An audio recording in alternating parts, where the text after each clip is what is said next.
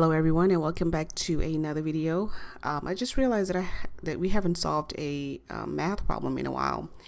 Um, so I thought it was a good idea today to um, kind of go back to the basics a little bit in math. And uh, math is actually part of the exam, mind you. Um, granted, you know, some of these subjects are pretty basics, but uh, you got algebra in there. This is for the ex FE exam, by the way. Um, you get algebra, uh, complex numbers, differential equations in there. Um, but look at the number of questions here. Like it's probably the most questions actually. I didn't never notice that. You got like 11 to 17 questions in math just for the FE exam. So, you know, it's one of the subjects that you want to make sure that um, you don't miss out because some of the concepts are, you know, kind of go way back, but still, you want to make sure that um, you, you get the max maximum points out there. So let's solve, um, you know, it, a typical FE exam questions. This is about inflection, um, you know, inflection on the curve. So it's just a matter of remembering what is it exactly. So the question here is to find, you know, the only point of inflection on a curve representing this quadratic equation right here.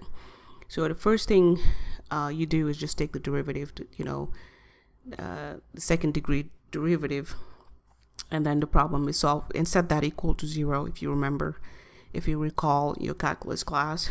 I don't know if this is calculus or algebra, but uh, it goes way back, way back to the basics. So um, let's set that up.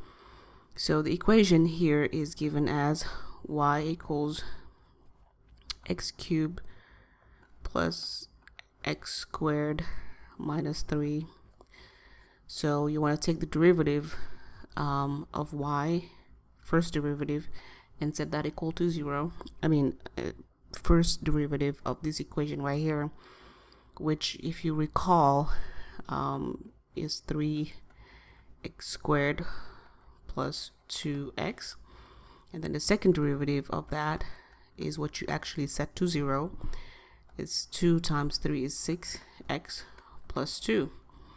So if you want to find the um, point of inflection here, you set that equation equal to um, equal to 0.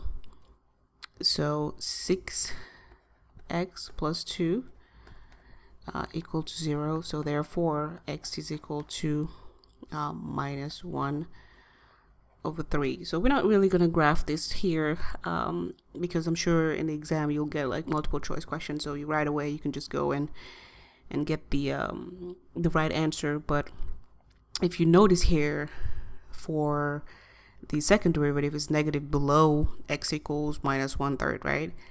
And then of course it's positive above that. So if since we set the second derivative equal to zero, and um, this changes as the sign uh, changes at x equals minus minus one third this is the inflection point right here so if you have multiple choice questions where you see this number right here um, that that's really the right answer but eventually I mean not eventually but ultimately what you want to remember is in order for you to find the point of inflection on a curve you have to set you have to find the second derivative of that quadratic equation and set it to zero. That's one thing to remember. So that's about it really. But um, let me know if you have any any question. But again, math is one of those subjects that um, it goes way back. So there you have like maximum of 17 questions on it on the exam. Is you have to make sure that you get those right because you can't get any easier than you know the math than math on the exam. So you make make sure some some these core concept that are really basic that you understand and that you remember them that you get them right in order to get your your your 17 17 points. I mean, it makes a lot of uh, lot of difference. So let me know if you have any questions or if there's any other topic that you want me to cover uh, for next video. See you next time.